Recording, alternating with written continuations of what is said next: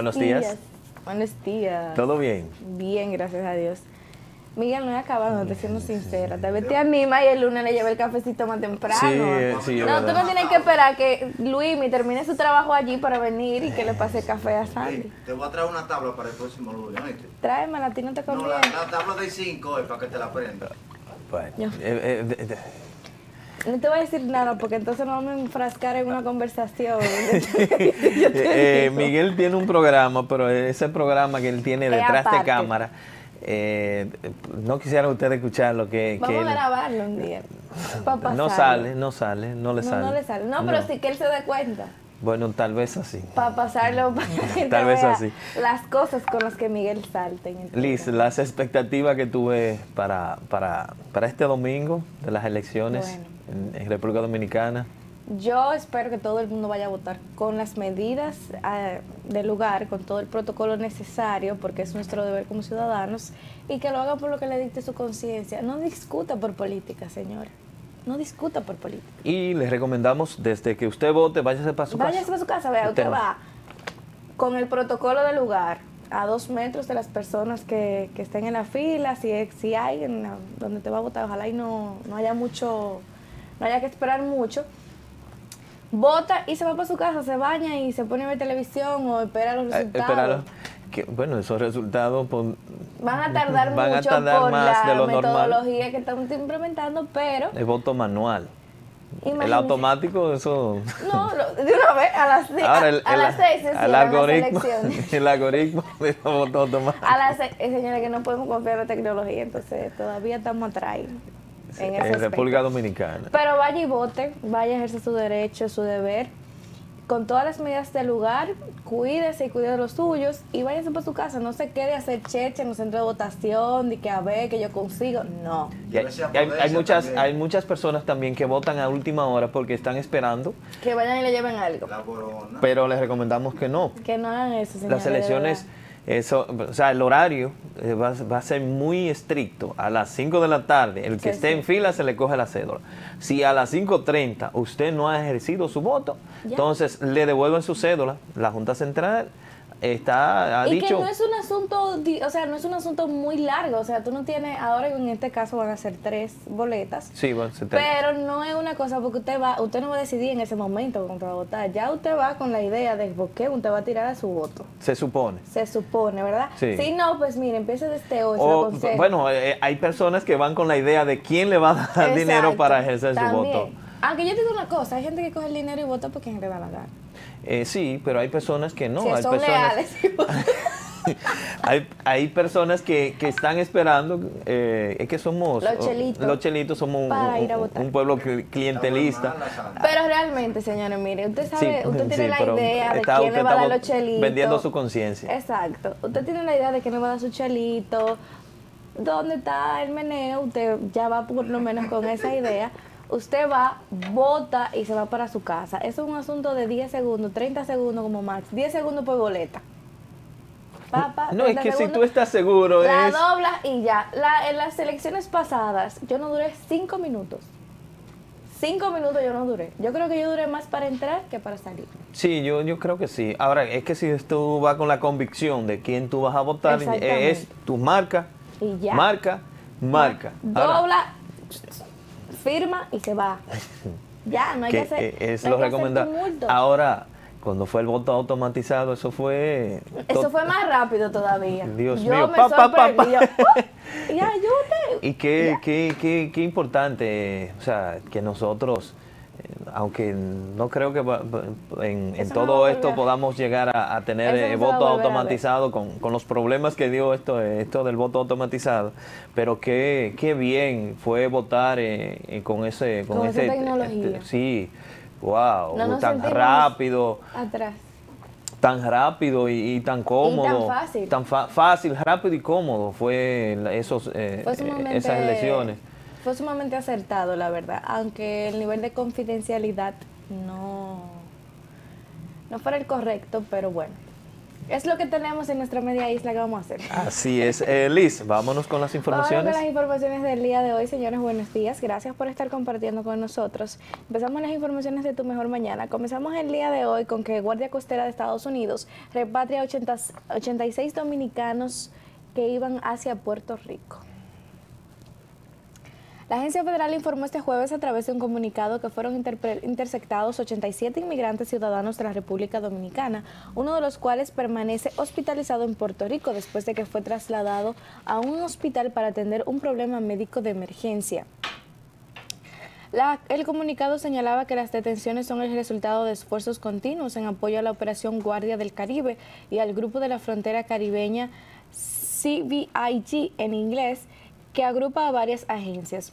La fuerte colaboración entre la Guardia Costera y nuestras agencias asociadas al CBIG involucradas en este caso, así como con nuestros aliados en la Armada de la República Dominicana, condujo a la interdicción de tres viajes ilegales y el regreso rápido y seguro de 86 inmigrantes, dijo el capitán de navío Gregorio Machi, comandante del sector de San Juan de la Guardia Costera de Estados Unidos.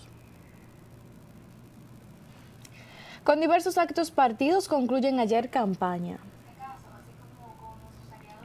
Anoche a las 12 de la medianoche concluyó el plazo que tenían los partidos políticos para hacer actividades proselitistas, por lo que las diferentes organizaciones realizaron desfiles, caravanas y transmisiones a través de cadenas de radio, televisión y redes sociales, a fin de concitar el apoyo del electorado en las elecciones de este domingo.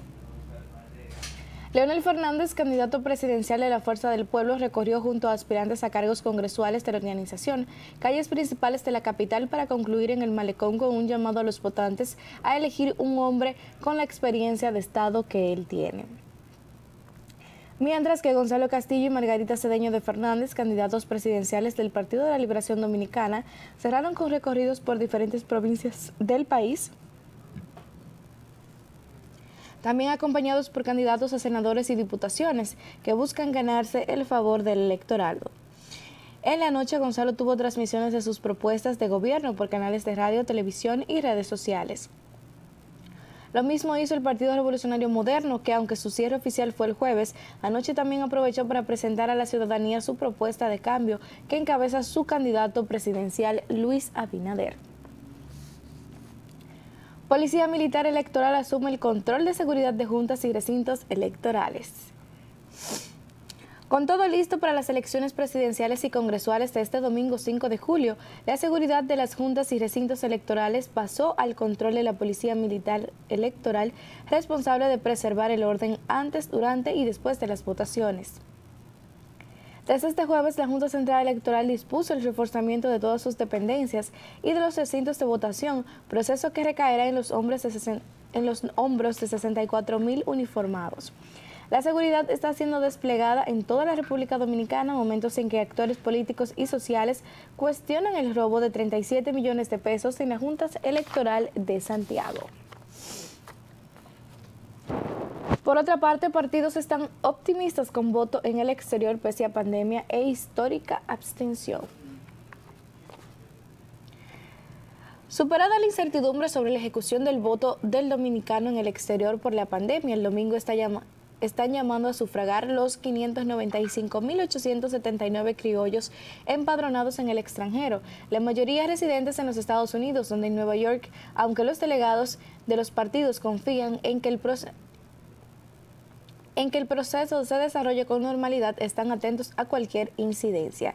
Históricamente, el voto en el exterior ha ido disminuyendo y en los últimos dos procesos electorales, del 2012 y 2016 respectivamente, la participación no superó el 50% de los inscritos. Sin embargo, los partidos buscan los votos de una diáspora que representa el 7.9% del padrón total y que si fuera una provincia sería la cuarta con más votantes empadronados por debajo de Santiago y por encima de San Cristóbal. Probablemente votarán entre un 35 y un 40%, estima Francisco Cortorreal, quien preside la dirección estatal del Partido de la Liberación Dominicana en Nueva York. Realmente no ha habido un espacio de campaña, de marcha, de caravana, todo ha sido muy rápido. Cinco provincias concentran casi 75% de casos de COVID-19. De los 34.197 casos positivos a COVID-19 confirmados, 24.805 casos están concentrados en cuatro provincias y el Distrito Nacional, lo que representa un 72.5% del total de acuerdo a las cifras ofrecidas por el Ministerio de Salud Pública en el último boletín. En ese orden, la provincia de Santo Domingo registra 10.028 casos de coronavirus, el Distrito Nacional 9.053, Santiago 2.451, y San Cristóbal 1949 y La Vega 1324. En la lista siguen las provincias Duarte con 918 casos, La Romana con 875, La Altagracia con 837, Espaillat con 754 y Asua con 650 casos confirmados.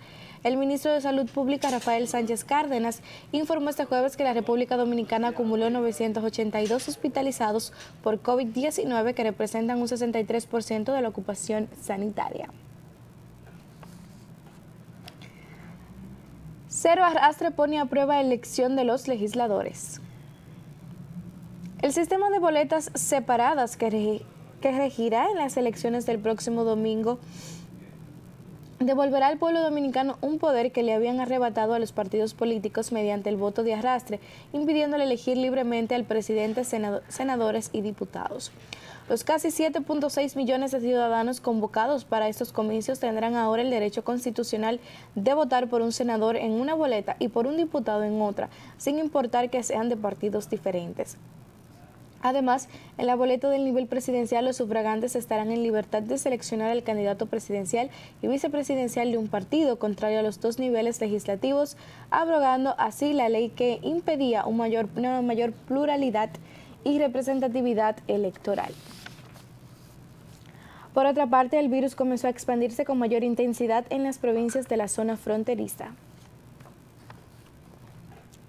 El porcentaje de positividad del virus de COVID-19 sigue incrementándose en el país, sobre todo a raíz de la desencalada económica alcanzada, alcanzando 22.11% en, en las últimas cuatro semanas, lo que indica que de cada 100 pruebas PCR de laboratorio que se procesaron, más de 22 daban positivas al virus mientras entre las provincias con mayor porcentaje de positividad se encuentran las ubicadas en la franja fronteriza con Haití, estando encabezadas por Independencia con 55.15%, Pedernales con 53.7%, Elias Piña con 35.65% y Dajabón con 32.29%. En esta lista también están el Ceibo con 36.47%, Valverde con 36.24%, Mayor con 32.20%, Montecristi con 28.32% y Barahona con 27.57. También se agregan San Cristóbal con 26.38, Azua con 25.51 y Santo Domingo con 24.79%. Campaña electoral llegó a su fin con envío de materiales. Las elecciones presidenciales y legislativas del domingo se encuentran en la conclusión de la logística con el envío de los materiales de votación a los recintos y la entrega de credenciales al personal que trabajará en las mesas. La Junta Electoral de Santo Domingo Este comenzó ayer la distribución de, los materiales de votación a los 161 recintos de esa demarcación, donde funcionarán 1.448 colegios, en los cuales podrán votar 646 mil ciudadanos. Estamos listos en términos de logística, solo falta supervisar para que el domingo no haya contratiempo, resalta el presidente de la Junta Central Electoral, Argenis Matos. Considero que la parte final de la jornada de votación del domingo será más compleja debido a la cantidad de delegados y representantes de partidos que están en los colegios electorales y observando el proceso de escrutinio de los votos a partir de las 5 de la tarde. Colegio Médico y CONAPET se enfrentan por brote de COVID-19 en asilo. Por lo menos 10 adultos mayores han dado positivo al COVID-19 en el lugar de ancianos San Francisco de Asís, donde en los últimos días se registró un brote de la enfermedad, mientras se estudian los casos de nueve fallecimientos para descartar o confirmar la presencia del virus. El manejo dado al brote registrado en el centro ubicado en la avenida Independencia del Distrito Nacional mantiene enfrentados al Colegio Médico Dominicano con las autoridades del Consejo Nacional de la Empresa de la persona envejeciente, CONAPET, responsable de los hogares geriátricos en el país, al punto que el gremio pidió ayer la destitución de su directora Natalie María por ordenar la cancelación de los médicos que laboraban allí. La confirmación de los casos positivos de COVID en el centro geriátrico fundada fue dada a conocer ayer por el ministro de Salud Pública, Rafael Sánchez Cárdenas, al ofrecer detalles de los resultados de la intervención hecha por las autoridades sanitarias esta semana en dicho centro.